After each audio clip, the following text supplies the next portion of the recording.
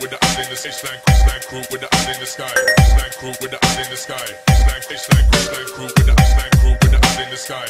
Crew with the eye in the sky. Crew with the Hey guys, and welcome to How to Make a Drift Trike from BDT Crew. Okay, first off, you will need a whole green machine. Well, only the frame if you can get it. You'll need a whole frame, right? Um, fully stock, new or old. You can use the new one. It's pretty easier than the old one.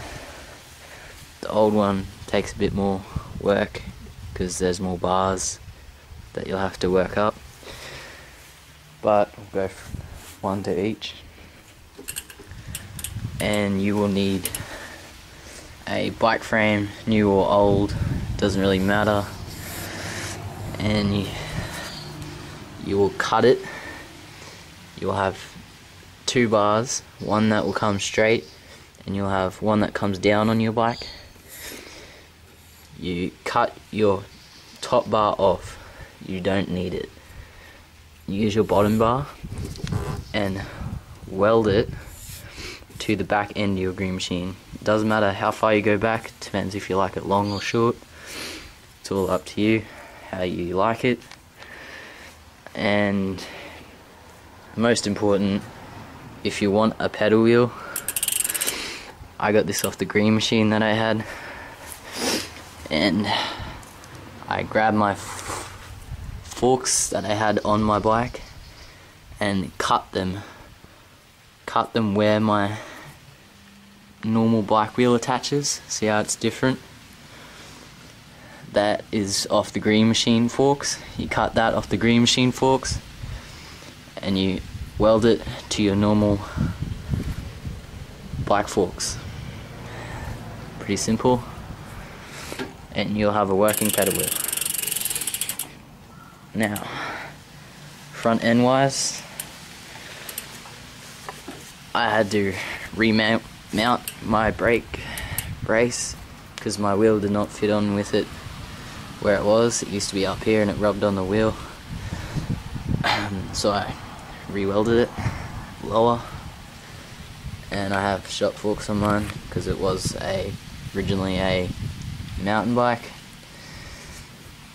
and brake setup haven't really done that because I bent my front wheel hit the gutter and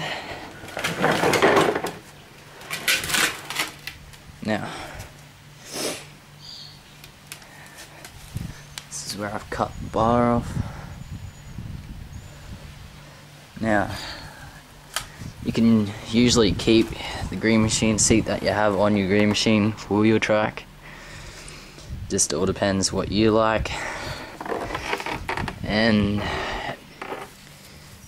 you might want to find some more old green machine wheels because usually used wheels are usually fairly cracked pretty easy as you can see from mine going down the Hummock a lot in Bundaberg and that's pretty much how you make the new version trike with the newer green machine on the back. Oh and you have to weld your back so your back axle does not move.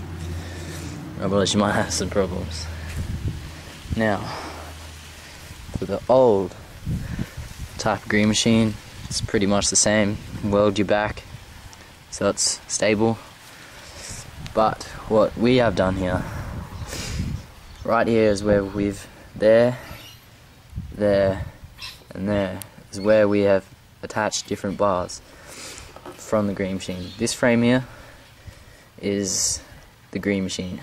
We have attached another bar up into the pipe of the bike. Same with the bottom one. We've just attached it to make it a lot stronger. And uh, this one does not have a pedal wheel quite yet. That's just the easier way to do it. Normal bike forks. Just your normal forks on normal bike wheel. And got any more questions